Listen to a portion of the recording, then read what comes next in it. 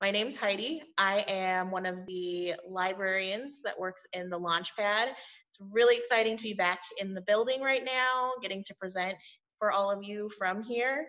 Um, as we kind of get settled in to figuring out how everything goes, it's kind of a bit of a new normal for all of us. Okay.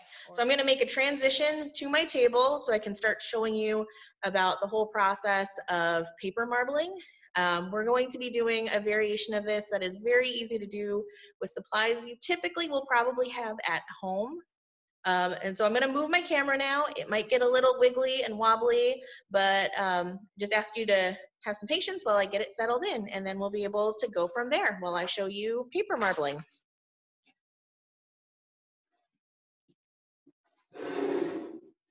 All right, so first off, this is a very, not very, but it can be a little bit of a messy process. So I always recommend that you start um, with, let's see, let me get this, you know, covering whatever work surface you're going to be um, using. Give that a nice cover of some kind. It could be um, underneath my brown paper. I have a tablecloth as well just to protect your work surface. I also would typically recommend that you use gloves. I forgot mine in another room, so I don't mind getting paint on my fingers. If that's something you're not comfortable with or you don't want to get any kind of dye on your fingers, go ahead and you can use gloves as well. So let me get settled a little bit. All right, so some of the ingredients or things that you'll want to need supplies for this project are the main thing is shaving cream. And the shaving cream acts as basically a base that you will be putting all of your colors into. If you are used to regular paper marbling, typically you use water with some kind of suspension material that allows the paint to, or the dyes to float on the surface before you put your paper in. In place of that, we are using the um, shaving cream. You'll also want some kind of pigment. So I'm using basic matte acrylic paints. You could also use assorted, um, you can use different food coloring if that's what you happen to have at home. You can use just basic food coloring. Um, something I've seen, I've also used in the past were gel food colors. If you do a lot of baking, you may have those sitting around. I usually do a mixture of those with your gel food color, a little bit of water, and then you can splash that onto your, your base. Um, I'll explain what I used straws for depositing some color, so I'll talk a little bit about that some more. You'll want something to drag your paint or your color, your pigment around through the, the shaving cream. So I like using chopsticks. You could use um, toothpicks here. If you have wooden skewers, those work. Um, you can also create little tools. So this is, oh, let me get it over. There we go. This is chopsticks, or sorry, toothpicks that I've taped together. And then you can use that as a way to drag through just to give it a different look. Um, then you'll want some kind of scraping, smearing um, tool. So I have these. I found this really nice little spatula set at the dollar store. Or if you just happen to have some little craft sticks around, those work. You could use a regular spatula um, from your kitchen. I will say anything that you choose to use, you need to be to either feel comfortable never using it again to cook with or feel comfortable with getting it cleaned really well. And then you'll need some kind of item to use as a scraper. So you could use those same um, craft sticks or something like a ruler. So those are the basic objects. So like I said, you need your medium to float everything in. So that's your cream. You need pigment. You need some tools to apply your pigment potentially. Some stylus type of tools, some spreading tools, and finally something to scrape. Okay, so I'm gonna move these out of the way Thank you again for your patience. Doing things live is definitely a little bit of a different process than getting to take do multiple takes, film it, and put up a video on the internet. So I'm gonna pull So one thing you want to also you get is some kind of pan. You could use um, the regular kind of sheet pan that you might have at home, or I found these little uh, aluminum sheet pans at the dollar store as well. It's a set of two for a buck, so 50 cents each. You'll want something like that that you can um, put your shaving cream in. And what I'm gonna do is give that a little bit of a shake. And I'm just gonna start going. Just gonna get a good amount on there. And then using your spreading tool, you'll get a nice layer of it and spread it out as thinly as, you don't have to be super thin, but you wanna get it spread out as smoothly as possible. That's what I'm looking for. I'm gonna go ahead and do that. So it doesn't have to be perfectly smooth, but you wanna get it, um, the smoother, the better. But it's pretty forgiving because once you start pushing, um, applying pressure to this, once your paper is down, it will go through the foam and be able to pick up anything that maybe is on a slightly different level or at a different height. Okay, and once you have it smooth, this first round, what I'm going to do is just show you the process of, um, got some paper towels here. So I will go ahead and wipe that off.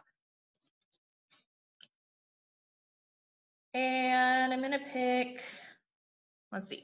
I'm gonna start out, I'm gonna do a white.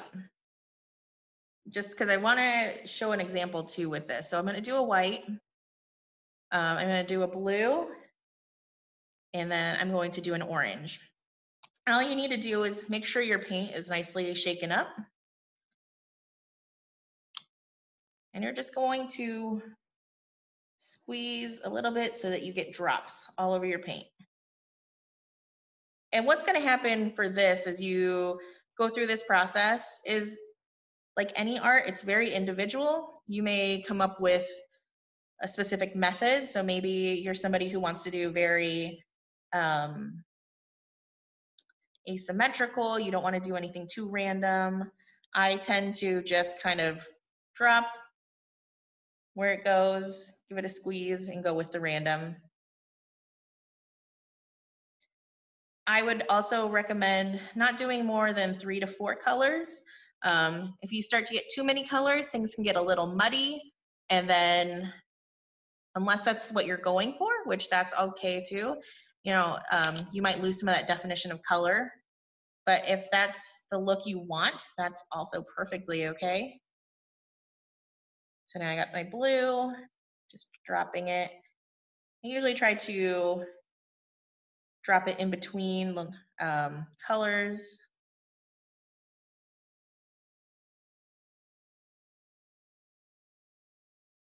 There's a lot of orange there, lots of orange up here. So I'm gonna do a little dollop there, orange there. Okay, and now I'm gonna do the white. And like I said, I'm doing this as in uh, a specific kind of example once I show you this process of what things can look like. So white on regular white paper is probably not necessarily going to be the most exciting thing, and it's kind of hard to see on this very white shaving cream. But you can get a really cool look depending on the color of paper you're using, which I'll show you in a moment. So do a few more dollops of this white. It's really up to you how much color you want to add, how much you want to do. You could try and get really precise and do, um, let me see if I can do this. Do colors. So I don't know if you can see that. I did there an orange spot and I just did a blue spot in there. And then I'm going to do a little bit of a white spot in that if I can. Not perfect, but you could do something like that. And then when I take, say, my toothpick, I'm going to start with this. As you just drag it through, you're going to kind of get some interesting, different looking designs as you pull that paint through. So to give you an idea of one way it can look. To start though, I usually like to go with my larger um, the largest tool. So either a wooden chopstick or a skewer is really good. And then just pick a point to start in some paint and you're just gonna drag through and drag it around, swirl it around, kind of to your heart's content. You just play with it. There's literally no way that you can screw this up. There's, you'll come out with something that looks really cool, really interesting. And what's, I think one of my favorite things about this kind of project is that it comes out unique. It's always gonna be a one of a kind piece. There's absolutely, at least no way I can think of where you can get the very exact same thing. Because depending on how the paint drops, depending on what happens, it's just, you're always gonna have a little bit of a different look. Um, while I go through with my stylus or whatever I'm using, so my chopstick in this case, sometimes I like to wipe off my excess and then go back and do some more. You can get really crazy with it, really wild, and just kind of do whatever you want like that. Lots of circles. You could just do lines through it and see how those look. Um, you want to take something smaller, so here's a tool. I call it a tool. Hopefully that will so all it was was some toothpicks, a bit of tape, and now I have this kind of fork rake thing. So I can just go through and see what happens with my colors as I do that.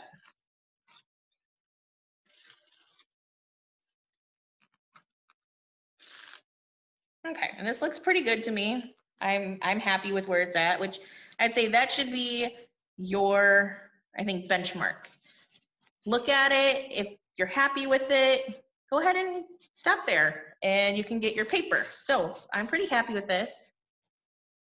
Like I said, I wanna show you three different examples of how your paint choices can look depending on what color um, material you're working with. So I'm gonna start with this piece of white. This is just white plain cardstock. And I'm going to, I think, stick it right over here. And I'm gonna just press down. And this is when having those gloves is really nice. And I'm gonna press down into the foam like that. Try and get as much contact between the paint and the paper as I can. Then I have this black cardstock right here. I'm gonna put that over here and see what happens. Same thing. Just press it down really nicely then I have this piece of brown paper that a, a trim and we're going to put that right down here and press down to make sure everything is in contact. Okay, and this, the next part is always, I think, where it almost feels like magic. So I'm gonna move this out of the way. I'm gonna pull up my white piece of cardstock. And when you flip it over, it kind of looks like not a lot yet. There's not much happening. It's kind of not necessarily boring, but it's just kind of like, oh, well, that's fine, I guess. But this is what I call the magic part, is when you take a scraping tool. So I'm gonna use the craft stick and you just scrape off that excess foam, that shaving cream, to reveal the design that you have from your marbled paper.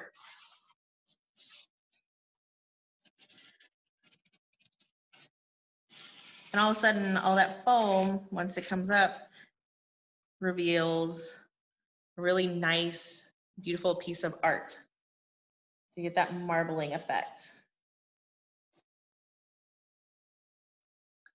All right, I'm gonna put this over here to the side and we're gonna take that black piece next that we had put down. So one thing to know, if you decide to use something like um, food coloring, food coloring is not gonna show up on a dark sheet of paper like this um, black just because of the nature of, um, with food coloring, it's absorbing the color, it's dyeing the paper rather than like with this, where it's basically painting the paper. So it is an actual, sense, it is paint. So with that, you can see how another piece of paper towel. Just gonna try and sponge some of the excess off so I don't get too much dragging of my paint. So, okay, our first comparison, if you look, so you can see how on here, that white paint I put down doesn't really make as much of a difference. It's not as visible because it's on white paper. But if we're looking at the black paper, you can definitely see where all that white showed up. So depending on what medium you're transferring your color to, you, um, you know, that'll make a difference about the choice of colors you make. And then let's take a look at that brown piece that we had used.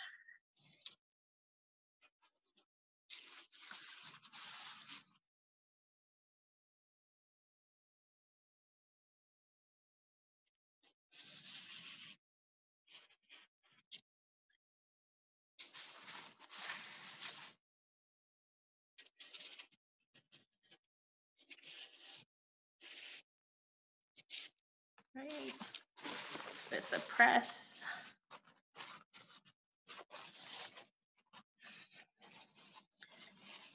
Once again, you can see how being on the brown paper gives it just a little bit of change of um, tone and how it looks. And the thing with this brown paper too, as it dries, it's going to show up a little bit different even then. So my first set of examples of what you can do with these things afterwards. Oops. Just so you can see a good example of, so this is still my damp brown paper. This right here is my dried brown paper. So it will dry out a little bit and you'll get, it'll look a little bit different. So one thing I like to do with these marbled sheets of paper when I'm using them is to use punches and you can get different shapes out of them. So those different craft punches. So here I have a little leaf and this I could use on if I was doing cards or if I wanted to do decorations with like creating, um, trying to think, something like maybe if I had bigger leaves especially, I could do um, something with like creating garlands for decoration, um, putting this on a card, like a handmade paper card, or all kinds of things. Uh, I also did the little flower symbol out of there. There we go.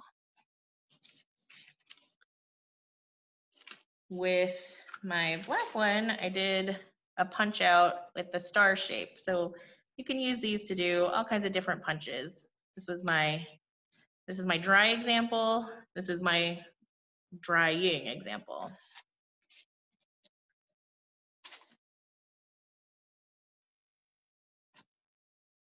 All right.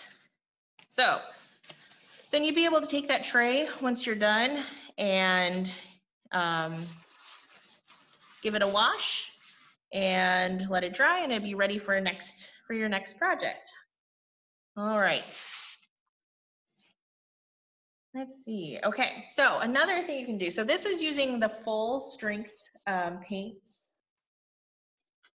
um, just as they are. I'm gonna get that out of the way and grab another tray.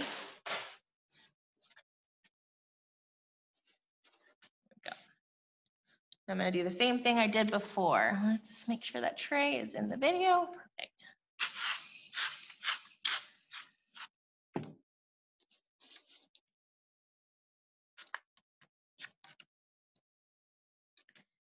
Spread this out. So this time around, I'm going to, those colors, when you do them, they're straight up like that, are very vibrant. But that might not necessarily work for a project you're thinking about. You might want something that's a little bit more muted. Um, if you were doing, say, um, something where you wanted a pastel, so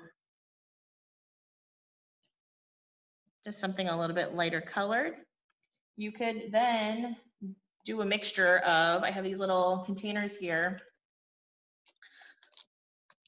you can do a mixture of the paint and water. So each of these little containers, I put some water in, and then I added a good squeeze of paint, and then stirred up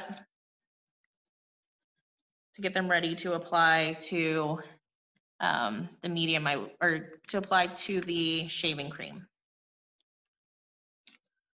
So there are two ways, when I was practicing this um, a few days ago, there were two ways I was doing it. And that was to take a straw and you know, when you try to get a little bit liquid in your straw and you just pipe up the other end and create that vacuum, all I was doing was putting the straw in here, blocking it up so I can get a little bit of the, the watery paint that I made, and then just letting it drop.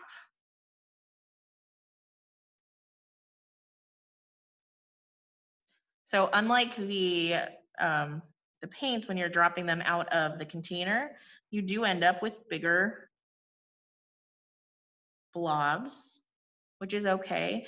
You can also, as taking it, letting it drop out, and then giving it a few taps to help disperse any of that extra paint. Or you can take that stick that you did, that you used to stir, and just kind of shake it over. Um, you could use a paintbrush dipped into it and then um, pull the paintbrush back to kind of distribute and um, do a spray of colors. It's really up to you and the look you're going for.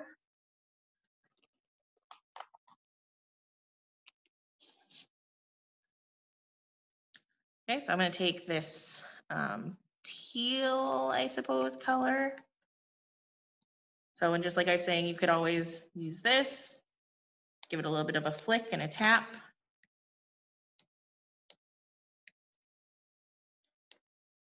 The best part of something like paper marbling too is that you can experiment and try different things. Um, when it comes to using like the watered down paints, you can always try different ratios of water to to paint. Okay, and then I'm gonna use this gray that I have. Because depending on, you know, the ratio, if you have more paint than water, it's the color is going to be a little bit more vibrant. Um, the less paint water you have, of course, that, or yes, the less paint you have in comparison to water, the less vibrant it will be. I'm gonna do it this way.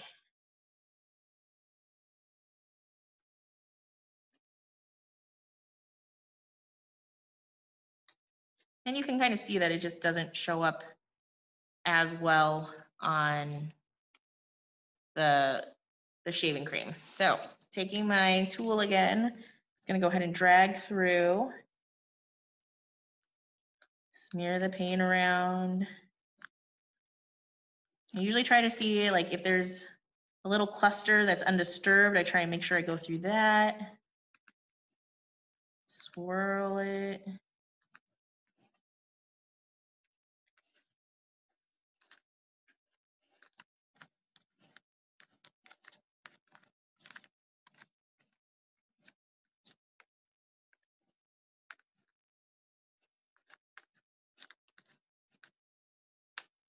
Okay, and I think I want maybe a little bit more pink. Let's see what happens.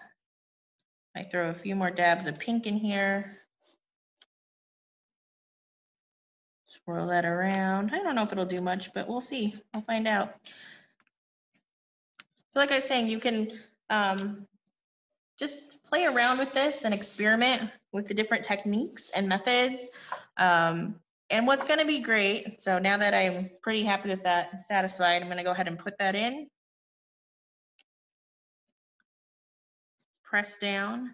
You can experiment with the different techniques and, um, you know, even if it's not perfect or you don't love what comes out, well, you learn a little bit from that. And then your next project maybe is more of what you're looking for. And even if it's not exactly what you wanted, pull that up you still have a product that you can use in some way. So actually I can see right where I didn't press down enough. So there's some little blank spots there. But I'm gonna take my scraping tool and just go ahead and scrape that off.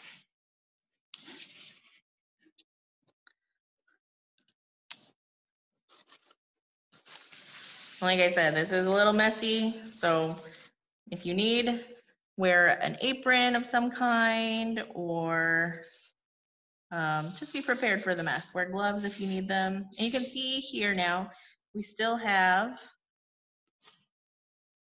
a pretty nice um, marbling effect. It's just lighter and more subtle than our last one was.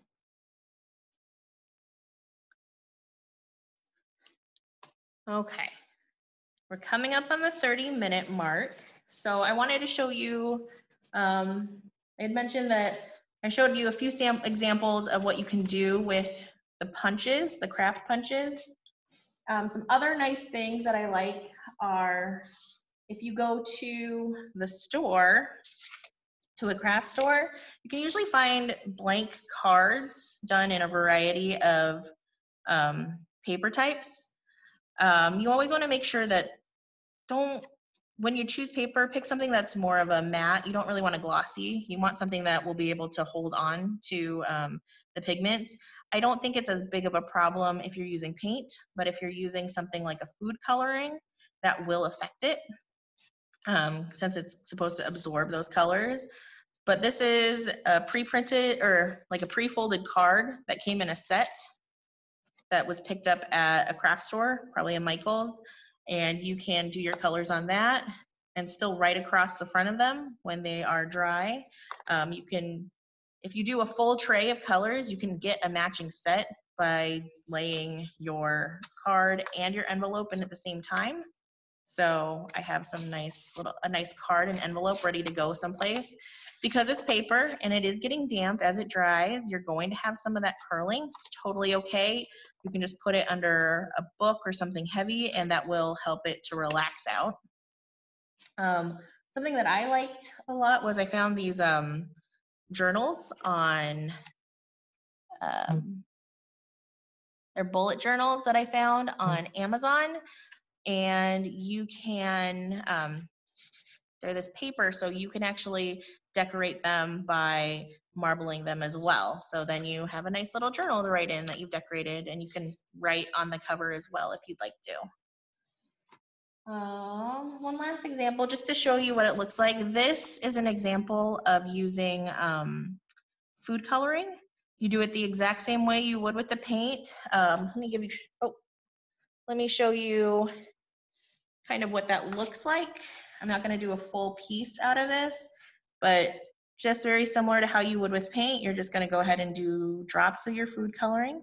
They do, because it's so liquidy, they do spread differently. So that's always something to come, take in mind. Actually, I'll go ahead and do this one. We'll do a real quick example with this red and yellow. You can always re, if you want, you can always um, reuse what is left over um, from your project before. But just remember that any of that color that's in there will transfer potentially. So I'm just gonna give this quick wiggle. I'm gonna do some little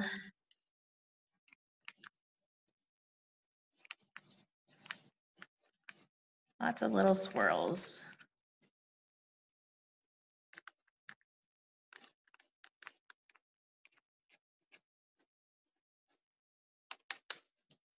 And then another sheet of paper. Make sure you press it down really well. I might end up with some of that teal or gray or pink from my last one because I'm reusing, but we'll just have to see what happens. I'm always, always, always very pro. Try it out. This is so pretty. It's like sunset colors. Try it out, see what happens. There are no mistakes. You know, the old Bob Ross adage of there are no mistakes, only happy accidents, I think is the best way to live life when you're doing art. Because then you end up with something cool like this where, you know, yeah, I do have some of that teal that came through, I can see. but it looks really, in my opinion, this is, I'm happy with this. I have some of that teal here on the edges and some of the gray. And I think it looks really cool and I think it'll be a nice little touch. So this is using um, that uh, food coloring for this one. So both of them work. Use whatever you have on hand in your house. Um, this is one of those projects that hopefully you don't have to go out and buy a whole bunch of tools. You'll be able to do it almost immediately if you want to. to answer it. Otherwise, it was absolutely wonderful to host you all virtually again back in the Launchpad.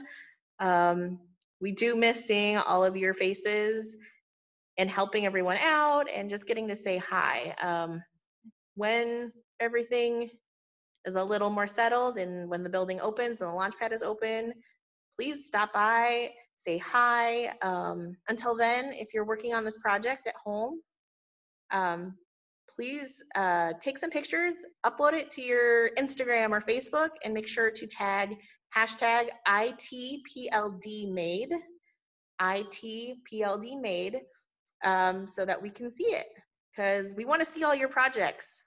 The best part of getting to work with everybody and getting to teach you guys new skills is getting to see your final product. It's the most fun part. I love seeing what everybody makes. So make sure you tag that hashtag ITPLD made so that we can take a look at it.